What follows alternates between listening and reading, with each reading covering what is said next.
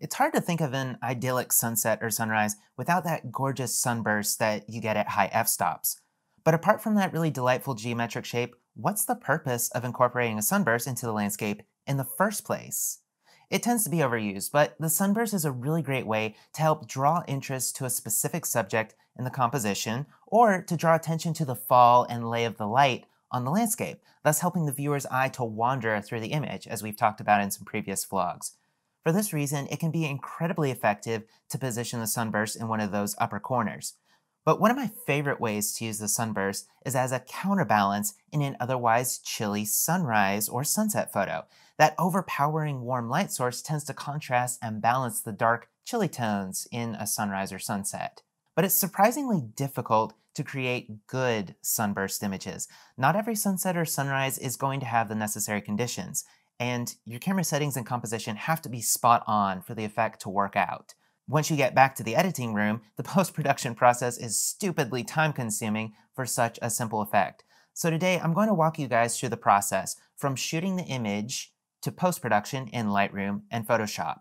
Now remember, the sunburst becomes one of the subjects in your composition, so it needs to follow the compositional rules. Adding a sunburst just because the conditions are right can probably make your image worse off. The number one ingredient you're going to need is a small light source. Just shooting into the sun won't necessarily produce the sunburst effect. For the effect to be visible, you need a bright point light source, in other words, the sun, in the midst of a darker region. And the sky around the sun needs to be crystal clear to make a crisp sunburst. Preferably, the sun needs to be close to something dark from your point of view so those spikes stand out. I would recommend making sure there aren't any clouds spreading out or diffusing the sun's light. The smaller the light sources to your camera, the crisper those spikes will be. A really great trick you can do is to find some foreground, maybe a rock or tree branches or the ridge of a mountain, and position yourself to shrink the sun to a smaller point. In this image from Oregon, I walked around the beach until the sun was nearly cut off by these rocks in the foreground. So even though the sun isn't exactly a point light source, it was smaller to my camera, smaller enough to get this effect. So once you've decided on the composition and where you want to position the sunburst and you've gotten it small enough, now you need to shoot at f14, aperture stop 14 or higher to get that really pronounced sunburst. F16 has been my sweet spot, but at that point, any dirt or salt spray on the lens pops right out. So you really need to make sure that your lens and filters are spotless. Don't shoot beyond F19. At that point, diffraction is going to start softening the image and it won't really improve the shape of the sunburst. So F16 has really been my sweet spot. I even sometimes get a really nice sunburst at F11. Next, you're going to want to shoot with the right lens. You can get this effect with pretty much any lens, but some lenses won't produce nearly as nice looking of a sunburst. To get a sunburst with several crisp spikes, you want to shoot with a lens that has an odd number of aperture blades. This is something that you can find when you're looking at the technical specs for your lenses. For example, Canon's 16 to 35 millimeter lens has 9 aperture blades. That will produce 18 spikes. Any lens with an odd number of blades will produce twice as many spikes as there are blades, whereas lenses with an even number of blades will produce just that many spikes. So a 6 blade aperture will only produce 6 spikes.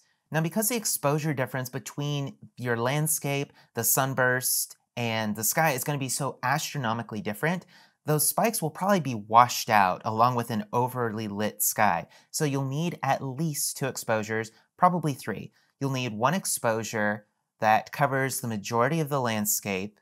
You'll need one for the sky and one for the center of the starburst. Basically, you're going to be producing a high dynamic range image and it's not going to look gaudy like a lot of the HDR images you might be used to seeing. It's just we need that extra dynamic range to be able to combine these different exposures together. So I don't recommend using your camera's HDR feature if it has one. Instead, you want to manually bracket and set each exposure to get exactly the landscape at its best, the sky, and the center of the starburst. So take time to get those settings right. Don't go with the auto HDR feature. It's going to give you a little bit more work in post if you didn't get it just right. And last, and this is really important, you must use a tripod for these exposures. When bracketing exposures or doing high dynamic range photography, it's not usually a big deal to handhold for these back-to-back -back exposures, but unfortunately, the slightest shift to the camera will change the shape and orientation of the sunburst and that flare you get with it, which is going to make it really time consuming to merge. So absolutely shoot with a tripod. I've made this mistake more times than I can count. I was lazy and I just shot back-to-back exposures, even the slightest shift, the slightest rotation will completely change the position of the flare. Now at this point, we have pretty much all the ingredients we need to shoot some great sunbursts. But sunbursts tend to have a major drawback, and that is the presence of lens flare. So lens flares, it sometimes kind of looks pretty stylistic, it's kind of nostalgic. Flare on the landscape exposure, however, is problematic. It can be stylish, but what it does is it washes out colors and details. It's kind of like a colored haze. And if you go to the trouble of waiting for the best light of the day, you really don't want to spoil your incredible landscape with that cheapy flare look. Unfortunately, Sunburst and flare are a package deal. You can't really have one without the other.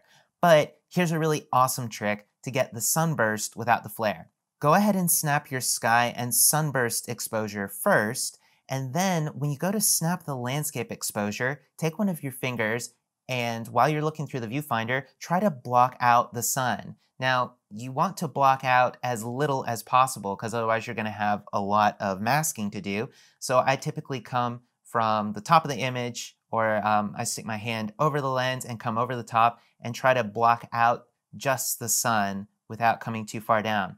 What this will do is your landscape exposure won't have any flare or sunburst, so you'll get all your beautiful colors in the landscape.